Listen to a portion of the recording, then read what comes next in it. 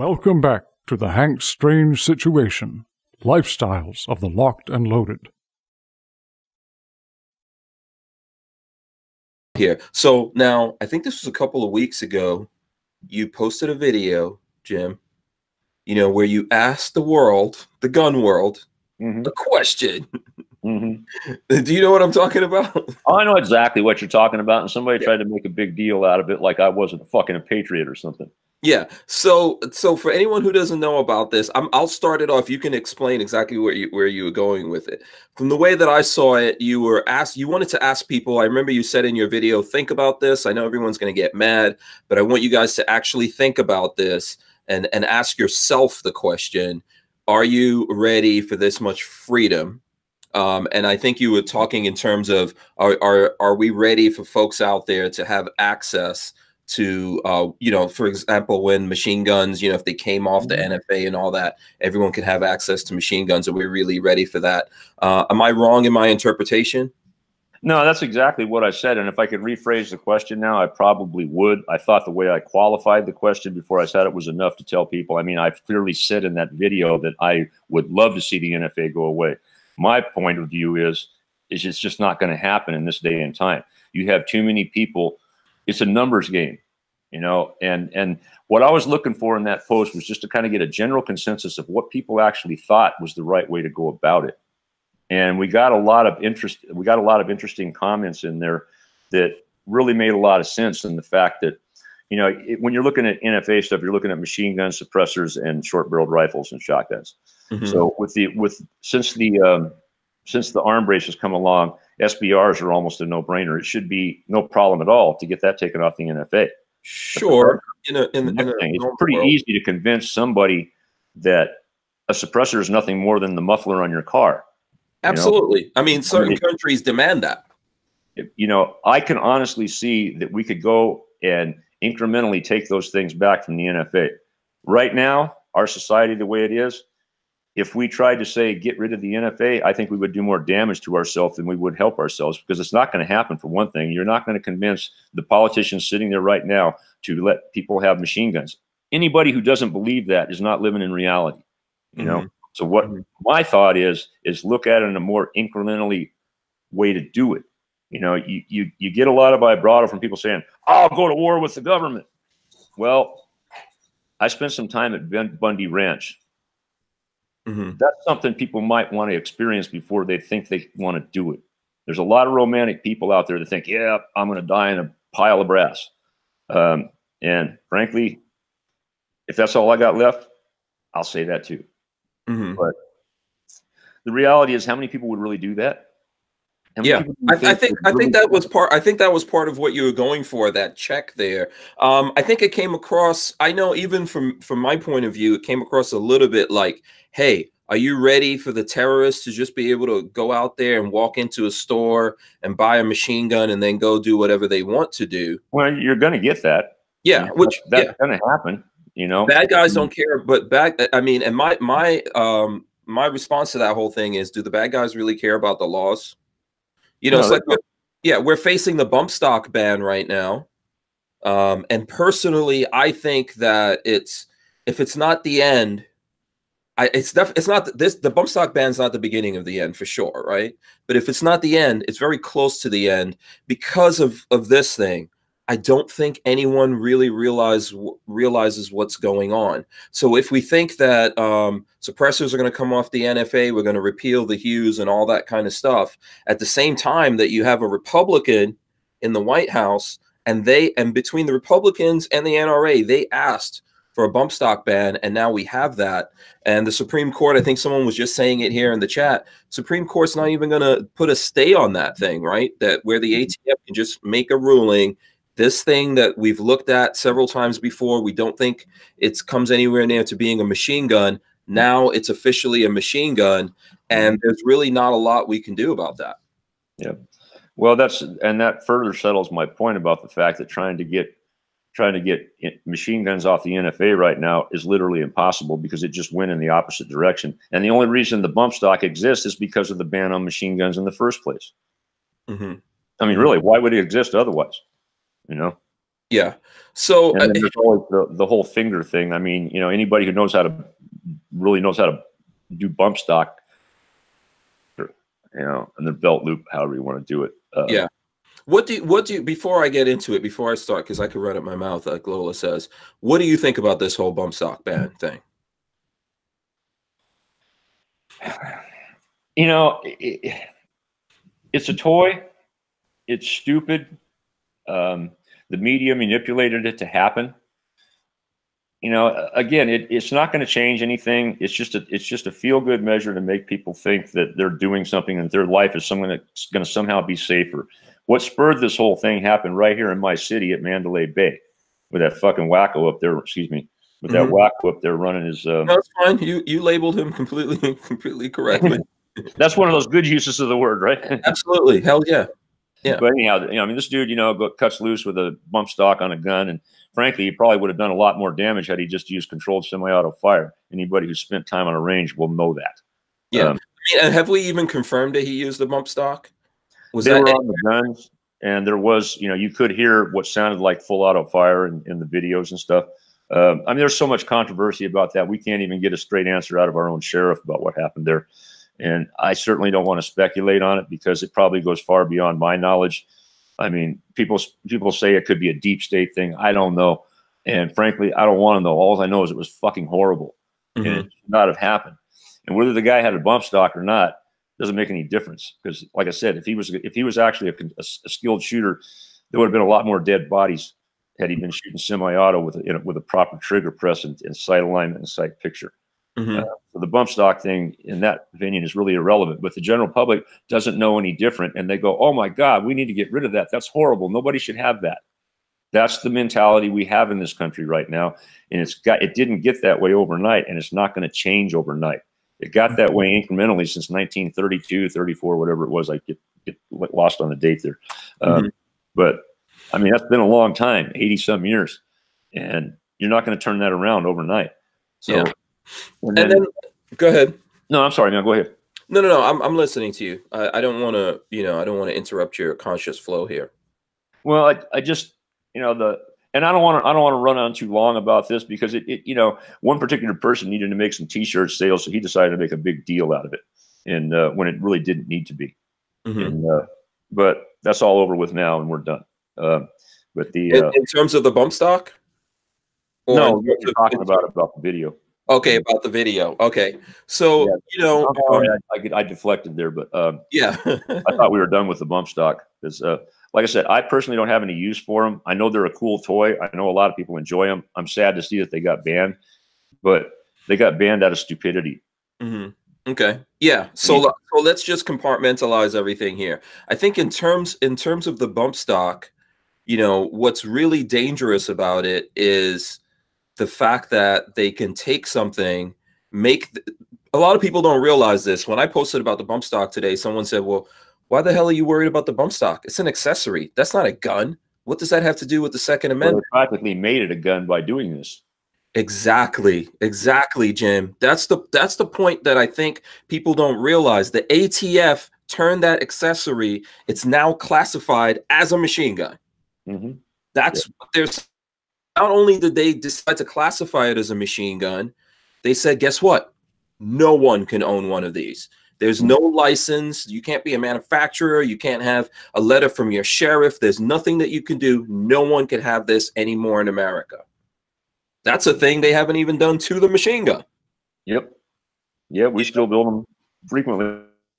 Yeah. Under very controlled um, situations, obviously. Yeah. That's the scary thing about it, about that, that I think a lot of gun guys don't realize.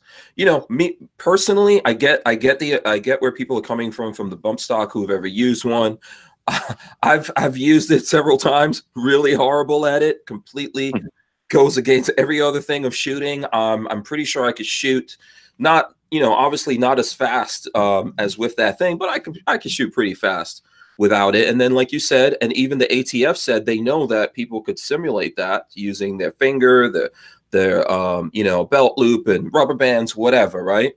Well, let, oh, I'm sorry. Go ahead, and then I got a thing for you on that. No, go ahead, hit me with it. Well, we have a um, competition shooter that we um, endorse here in town. His name's, believe it or not, John McLean. That's really his name. Okay.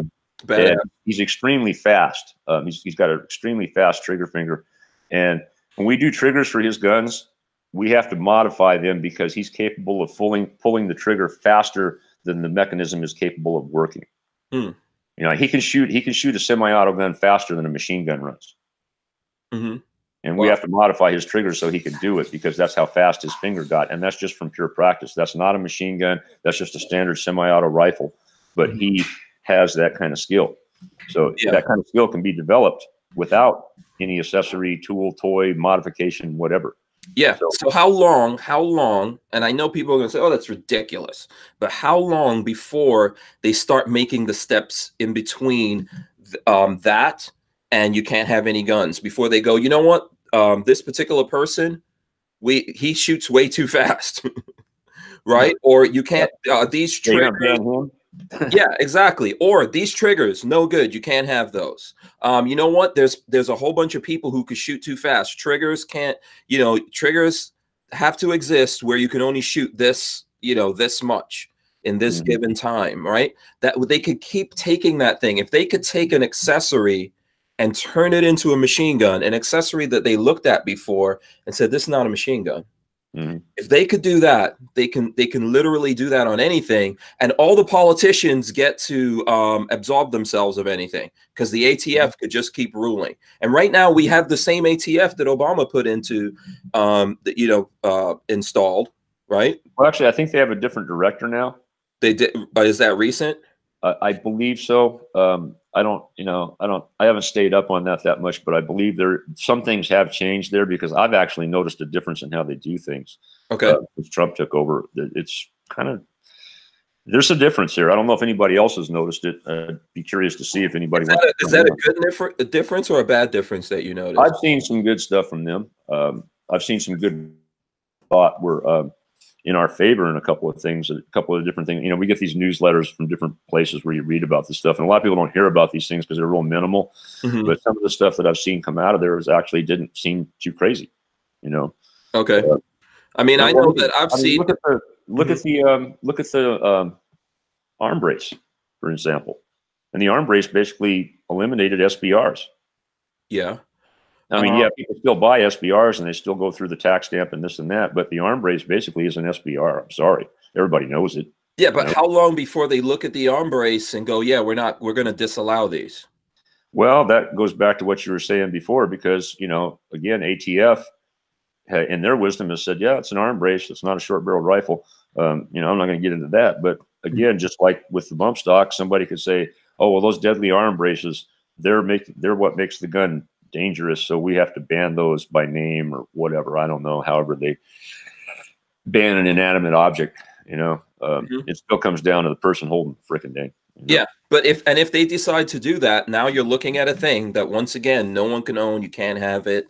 Um, I've no, I've from what I've seen, my own personal experience. Um, you know, I've seen some kind of some weird things coming out from the ATF. You know, for example, Walter, that I think you've met before. Um, he's definitely uh, been there at the shop a couple of times on Mhm. Shot Show, and we've done some shows. You know, they um, they came out and said something about the he makes a 50 upper that goes on an AR-15 lower, right? Mhm. And um, they came out and said, yeah, that upper has to be serialized. It's a bolt action, 50 cal upper. And you know that's something that he's dealing with right now. I, before anyone starts asking, you Well, know, that's kind of crazy because the lower is a serial numbered part. yeah. So that is very crazy. You know, um, I'm gonna have Walter's gonna come on and talk to folks about that here soon before anyone starts asking us what's going on. And he he they challenged that with the ATF, but you know, there's a lot of weird things that I think that are going to start happening and that we're getting lined up for. And if they're allowed to do this thing, when everyone's saying, "What are you guys getting all crazy about this bump stock thing? It's nothing. No one likes it. It's useless." Yeah, but No, I think that people just don't know the repercussions of things like that. you know? Mhm. I think I think it's a very very dangerous precedent. Um, none of our politicians have to go up there and make a bill, vote for something, put it into law, The president doesn't have to sign something after he said, "Oh, I wasn't going to do what." Whoever the president is, right? Very, very dangerous thing, and people really need to think about that. And when you look at other countries, if you think that America can't be like other countries because we're America, well, look at the states inside of America. I live in Florida, and I never thought Florida was going to have gun control to the level that it has right now. Well, it, it's all changing with the with the you know the spread of socialism. I mean, when was the when was the in my life, particularly in my lifetime? I probably got a couple of decades on you, Hank, but uh, in my lifetime, the stuff I see politicians talking about today, thirty years ago, they would have been ran out of town if they talked about stuff like that. Mm-hmm. But that's the pendulum swinging, and right now it's swinging further to the left than I've ever seen it before. I mean, yeah. one of the things I like to I like to point out is that you know I was raised as a JFK Democrat. You know, John F. Kennedy. Um, he was everybody's hero in the early '60s. He was a good man. You know, he had some weird shit about him. He banged other women and had drug problems and stuff. But mm-hmm. I think half the men these days have that problem too. Mm-hmm. But the, the reality is that guy, John F. Kennedy, who was a Democrat, could not even fit in the Republican Party today. No, you know that's how far to the left that our society has shifted. That mm-hmm. a guy who was considered a blue dog Democrat. I mean, there's almost I think probably the only blue dog Democrat left is probably Jim Webb. You know, I think he's one of the few Democrats left. He ran for president last time and he got like no they just totally ignored him because he was just not one of the guys they wanted you know yeah it's a very weird situation we have even weirder that um, there's a bunch of stuff that obama couldn't get away with mm-hmm. got trump in there trump is doing stuff and no one's getting mad about it you know there's no one the, the people the folks out there are not getting mad you know, um, I, am a I'm an NRA guy, but I'm not very happy with the NRA. What people don't realize, most of the folks inside of the NRA are not mad about it. If Trump showed up at an NRA thing right now, they'll be cheering and you know just losing their minds, ripping their hair out about how awesome he is. Yet he is enacting gun control and weirdly able to get away with it. It, it makes me feel like these guys won't wake up and and um, and start doing something um, until they see someone there that they could fight. For some reason, they can't fight Trump. Yeah. Well, you know, as far as the gun thing, mm-hmm. I, I, think it's we maybe want to look at changing the argument a little bit. Um, I mean, we've always based our arguments on we have the Second Amendment. It's our Second Amendment right. Well, nobody pays attention to the Constitution anymore. It's mm-hmm. being subverted on a regular basis. It has been for years. Mm-hmm. Um, I mean, you know, it, you can get scholarly about it, start naming a bunch of stuff, but most people know what I'm talking about. You know, there, there's, you know, any you can name all kinds of things for probably just about every amendment in the Constitution. But let's look at it a little bit different. Let's look at something we call natural law. Okay. Now, mm-hmm. when you think of the living beings on the earth, here, wherever, there's a food chain. There's animals that eat other animals. There's insects that eat other animals, eat other insects. There's animals that eat those insects. You know, it just kind of goes on a ladder. Mm-hmm. we're supposed to be the top of the food chain because we have intelligence over all that. But mm-hmm. if you went one on one with a tiger, who's going to win? the tiger every day if I'm not armed. right if I don't have my claws and my teeth, the tiger's going to win every day. exactly. Even even with your claws and even with your fingernails and your teeth, you ain't a tiger. You ain't that strong. You ain't yeah. got those knives built into your hands. Right. You know? mm-hmm. um, now, being at the top of the food chain and having the intelligence to devise weaponry is why we're at the top of the food. Mm-hmm. Did we lose Jim? Uh oh. Looks like he froze here we may have to wait a little while for him to uh, come back on. If you guys are still out there, let me know. Let me know that you're out there. I think maybe we we lost Jim. It's either him or me. I'm not sure. It's you. You're frozen on here. Oh, okay. Are, are you? Am I back? Am I back? back? Okay. Yeah. Lola, if you're on the internet, get off the internet, please. I think Lola's. You can't use the internet at the same time as me. Shut everything down, woman. we're, we're we're in a good flow right now. yeah, sorry about that, Jim. Sorry. Okay, go ahead. Um, you, yeah, well, I, you, I, don't know where we got cut off. the point I was trying to make is mm-hmm. that you know there are th- there are a lot of animals that are below us on the food chain that could rip us apart one on one.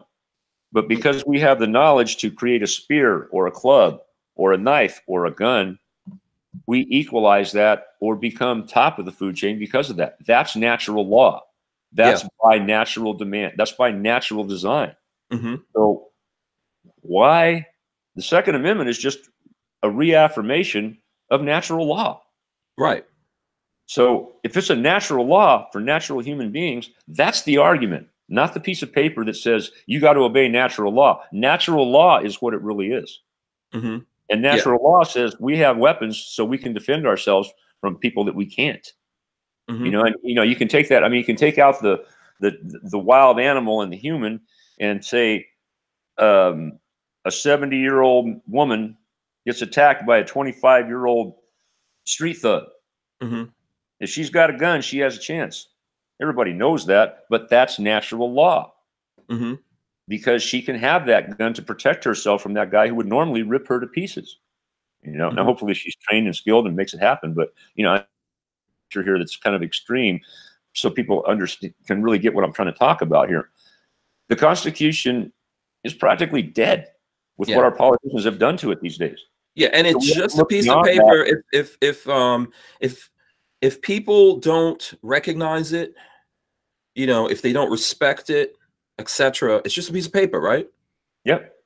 Yeah, and we don't respect it anymore. And, and, and probably every amendment has been every amendment in the Constitution has been violated in some way over the last several decades. I don't know. I'm not that constitutional scholarly. All I know is there's a reason why we have weapons. There's a reason why we learn how to make them. Yeah. If you if you cannot um if you don't have anything you can't defend, is the best way that I could put it like in my own words. So if you think that you're free, but you can't defend this freedom that you have, you don't have it. If you think that this car belongs to you or this house belongs to you, or you know, the money in your pockets is yours, but someone comes up to you and goes, What are you going to do for that for that money? And you you're not, you can't do anything, you don't have it. You might as well give it to them. You know, that's the thing. That's what we're losing. We're losing our teeth and our claws. And if you talk to a lot of these people, these very liberal leftist people out there, they're the kind of people that if you took a cat and you said, let's declaw this cat, let's take its fangs out. Yeah. Huh? They would lose it, right? Yep. Yeah. They would say, you're cruel. You know, you're a horrible human being. You're doing this to this dog, this cat, or whatever. And uh, I, I agree with that. But I don't want to be declawed. Yeah, exactly. Nobody does. yeah, I don't want to be defanged. yep, is that? You know, I don't want to be fixed. Yeah, that too.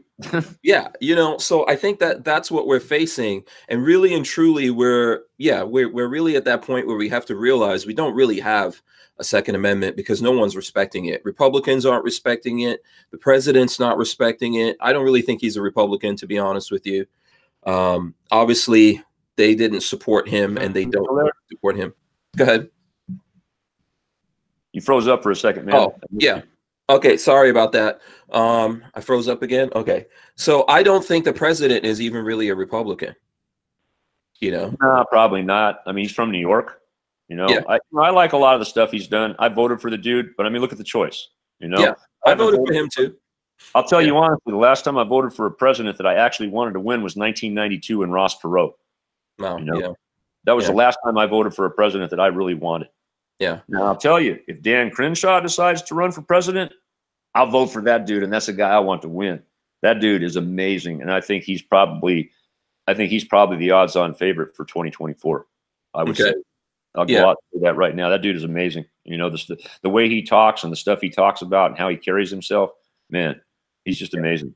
Dan Crenshaw. Okay, I have to make myself more. I've probably heard yeah, of. He's a congressman. He was just elected congressman. He's a former Navy SEAL, and uh, yeah. uh, guys, the guy's just amazing. He's not like he doesn't come off like a badass team guy, nothing like that. He's just a very, very intelligent, well-spoken man. Is that the gentleman that uh, lost his eye? Yeah, he wears an eye patch all the time. Okay, right. Okay, I agree with you. Good dude, from what I've seen. Yep. You know, um, it's weird, man. It's weird. I feel like if if there's people out there that believe in the Second Amendment, we're going to have to start doing something to you know to defend that position that there is such a thing as a Second Amendment, right? or if you want to get everyone else involved, because most people out there in the world, I feel like, are so comfortable and so safe um, in their lives that they're not worried about it. And the only time they're going to worry about it is when there's someone in the White House that they reasonably feel is going to do this thing to them. I, I voted for Trump myself, and I never ever voted for Obama. But I seriously believe that most of the people in America, I'm not saying everyone, so people don't get your feelings hurt, but most of the people in America who are gun guys and say they believe in the Second Amendment and the Constitution, they're waiting until there's someone up there sitting in the White House that they could hate. But for some reason, they can't see what Trump is doing to them. Yeah, it's weird. And, and I think that's a lot of the two party system there. People just, mm-hmm. well, he's, he's a Republican, so he's got to be good. Well, the Republicans ain't our friend. They're not as bad as Democrats, but they've never really been our friends when it comes to guns. You know, no. politicians are just basically prostitutes for the most part. You know, they're they're just they're just trying to please as many people as they can and get what they can out of it. Yeah. Uh, and frankly, I think prostitution is probably a much better occupation. Yeah, I think I have more respect for the prostitutes.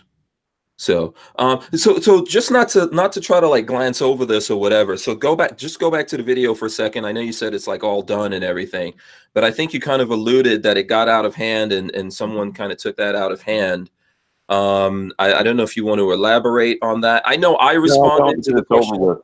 I don't because it's over with. Somebody okay. Somebody wanted to make a big deal out of it, and they did, and mm-hmm. they ended up leading it because it probably wasn't. It was pretty. It wasn't a really smart thing to do because people okay. knew what my meaning was there. Mm-hmm. And, and, there was probably a few people that didn't like it. And there may be a few people that that um, I think there's probably a few people that unfriended me. I don't care, but I got slammed with about fucking 80 million friends requests I'd never even seen before. I, I can't even answer them all. You know. So, and this is you're you're in the gun community. So obviously, this is gun community people. Um, look, I saw your post. I can't speak for other people. I saw your post, and I know other people reposted it. I reposted it. I responded to it you know, you asked a question, you said to think about this. You know, I thought about it. I wrote down my response. I put it up there, and I put and, and I reposted it. I think that part of it you wanted, right? Obviously, uh, mm-hmm. I don't mm-hmm. think you you you're Jim Fuller, so you didn't think you were going to put this up and like two people were going to look at it. No, I, I, knew people would listen to it. You know, and and it's like I had worked. I think I posted that at like six o'clock in the morning, and I'd been working for four or five hours at that time, and I was just tired, and I was thinking about stuff. You know, and. uh you know, I'll, I'll tell you one of the things that drives my thoughts behind this stuff, and I mentioned it earlier, is Bundy Ranch. You know, mm-hmm. I spent four or five days up at Bundy Ranch during that routine, and in my lifetime, that's well, it's, I don't know of any other armed situation where citizens face the government like that in mm-hmm. any recent history. You know, and it taught me a lot being there. Um, there's a lot of people showed up there, very well meaning folks. Some people that probably, there was actually a couple of people that we ran out of there uh, mm-hmm. uh, because they were scary. They were mm-hmm. freaky people that it's like, man, these people ain't right. We need to get them out of here. And for the record, those two people, about two weeks after that, shot two Metro cops in cold blood while they ate lunch. Wow.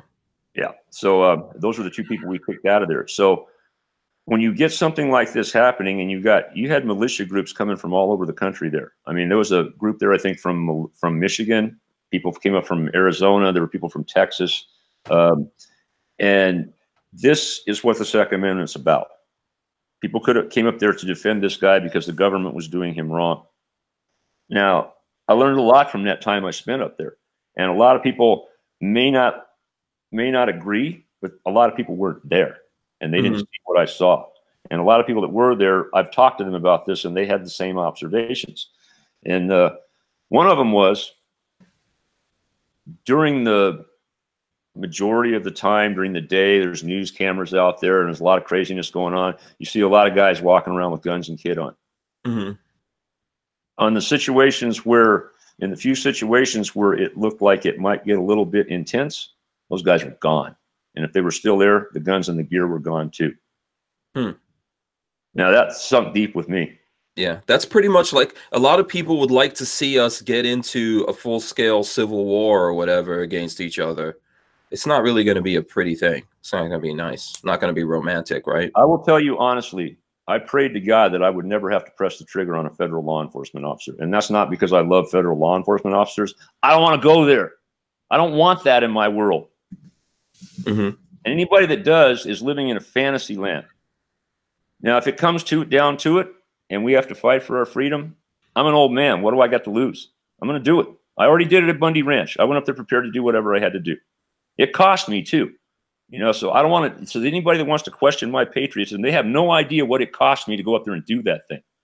You know, and I'm not going to get into any more details about that. But Mhm. I just get really pissed off when people want to question my question what I've done Mm-hmm. stuff just because I dared to ask a simple question Right. that I thought was relevant, and a lot of people did too. So anyhow, I don't want to beat this to death anymore. Right. Right. No. Okay. I mean, I think, yeah. I- Here's what I think. I, I don't think you've shown ever shown me anything that makes me think that you're not a patriot, not a gun guy, and not someone who believes in the Second Amendment. and I don't like it when people try to say I'm not hmm because I've got a track record that will prove way different. Yeah. Now, the flip side of it, without getting too deep into it before we move on from it, I think that because we're all very passionate people, you know, we all we, we all function off of passion, Jim. I mean, you do a lot of stuff that normal people out there forget about being your age and all that kind of stuff. They don't get into those things, right? In order to do that, there has to be some kind of fire that burns inside of the person that makes them very passionate. I think you realize that, right? Uh, I think I get where you're going. Yeah. So I'm just saying a lot of us are very passionate people and we say things sometimes that we don't necessarily mean, or other people listening to us react to those things in not necessarily the ways we wanted everyone to react. When if it was just us talking to each other, it might get fiery. But you know, the one of the things about being a man is when a man is talking to a man and things get fiery, it doesn't mean it's time to fight you know it's just time for you to stand up for what you believe in you might be saying it very passionately that guy might be saying it very passionately but it doesn't always lead to okay now we're going to kick each other's asses Well, see, I came from that generation, and I've been in a lot of fights. I've lost a lot, and I've won a lot. Um, I don't walk away from it, but that's just my upbringing, and that's my generation. Um, but I don't look for them either. Mhm. You know, that's age. Yeah. Yeah. teaches you that. yeah. And and listen i think at the end of the day we're all pretty much on the same page. We we're we're, we're seeing something slip away. It's weird for me jim because you you know um you you remember a time when you could go and easily uh, get a machine gun and and and get lots of different guns that that are very difficult expensive or impossible um, to do today and that the rest of us can't enjoy. I kind of came into this i don't know um, maybe like six seven years ago. And um and there's a lot of cool things out there and i and i see the things that i can't do anymore. But i see the writing on the wall like you said earlier there's something different happening that kind of never happened before. And all these politicians are getting together and they're figuring out ways to do this. There's there's none of no one on the supreme court is worried about what's happening there's no republican out there worried about what's happening they've all sat they all sat down somewhere and decided that they're going to make this happen. And the only boogeyman that we could look at is Trump and the NRA and the ATF. But so far as I know, the ATF works for all those people. You know, Um, they don't they don't work for the NRA, but you know, they work for the politicians, they work for the president, right? well, that, that's a very good uh, that's a very good observation. And basically, what it is is just dividing people into groups again. You know, I mean, you're a black guy, I'm a white guy, but we're both gun owners, so we belong to that group. Mm-hmm. You know what I mean? So they find some way to group you into something that they can hate you for. You know, they can't hate you because you're black, but they can hate you because you like guns. Mhm. You know? But they can hate me because I'm white because it's cool. it's okay.